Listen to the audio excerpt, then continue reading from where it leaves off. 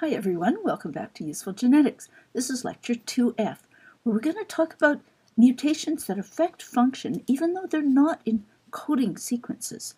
So we'll talk about regulatory sequences in DNA that are recognized by proteins, about sequences in RNA that affect splicing and translation, and about regulatory RNAs. Now, there are a lot of different non-coding sequences that do affect phenotype. They're only a small effect component of the genome, but they're vitally important. And you've already learned about almost all of these. So the first class I want to remind you of is sequences that affect transcription. So sequences can affect when the DNA is transcribed, what cell types the gene is transcribed in, and how strongly the DNA is transcribed. For instance, the sequence of the promoter determines how, once transcription has been activated, how strongly RNA polymerase is going to bind there and initiate transcription. Mutations that affect a promoter will change that. Um, there are many regulatory sequences, um, mostly in front of genes, and changes to any of these can affect when or the cell types or how strongly the gene is transcribed. Um, sequences in the DNA can also affect things that happen to the RNA. For instance, the ribosome binding site in the messenger RNA affects how strongly and efficiently the RNA is translated. And intron sequences affect splicing. We talked in a previous lecture about the fact that almost all the sequences in introns are effectively junk. As far as we know, they have no contribution to phenotype. But introns do contain some critically important sequences because the sequences at the ends of the introns provide signals to the splicing machinery telling it what sequences should be cut out. And you'll see an example of these mutations, I think, when we talk about cystic fibrosis in um, Module 3. Now, other genes function as RNAs in the same way that most genes get translated into functional proteins. And by far the most important of these are the transfer RNAs and the ribosomal RNAs.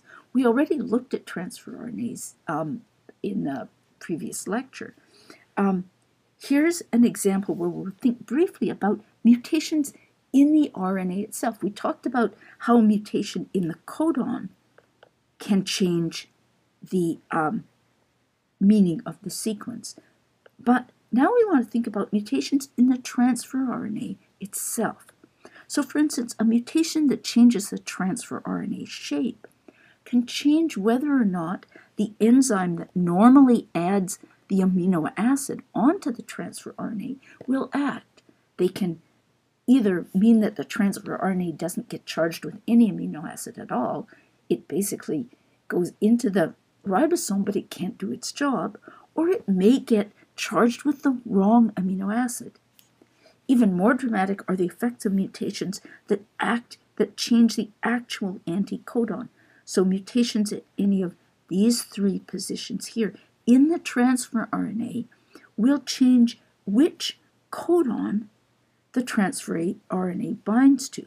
For example, a mutation that changed that G into a U, a mutation in the DNA that changed that G into a T, would result, in an aspartate transfer RNA charged with the amino acid aspartate, but with a codon that does not recognize the aspartate codon in messenger RNA. Instead, it would bind at a different codon and insert aspartate at a place where there should be a different amino acid. Now, I'm not going to talk in detail about mutations in ribosomal RNA, but I did want to show you this model illustrating the structure of the ribosome. It's easy to think of molecular machines as being mostly made of protein, but the ribosome is mainly an RNA machine. Proteins are synthesized by an RNA machine. Here's you can't even see, it's just this intense tangle of RNA.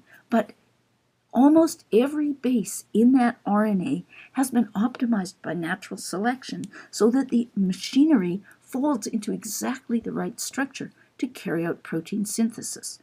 Most of the proteins that are components of the RNA are just there to help the RNA fold into the right structure. All the critical work is done by the RNA. And of course, ribosomal RNAs are highly conserved RNAs because so much of their sequence is critical to their function in protein synthesis.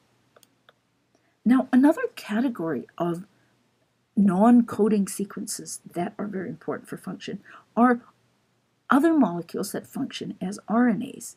Um, some RNAs are themselves catalytic, like the ribosome, but much smaller. This is an example of a very much simpler RNA folded into a structure called a hammerhead structure. It's a catalytic RNA, and it's held together by base pairing. For example, these bases pair with each other to create the secondary structure that gives it its catalytic function. Another category of functional RNA, again that can be changed by mutation, are what are called antisense RNAs. Um, you'll encounter one of these um, in Module 3. These are RNAs whose function is to prevent the expression of genes not by preventing transcription, but by preventing translation. And they do that by being complementary to part of the messenger RNA. So this antisense RNA can form base pairs with this messenger, messenger RNA and prevent it from being translated. So here's a question, sort of a summary question. When can a mutation that's not in a coding sequence change a phenotype? And note that these are square boxes, meaning you can choose more than one answer if more than one is correct.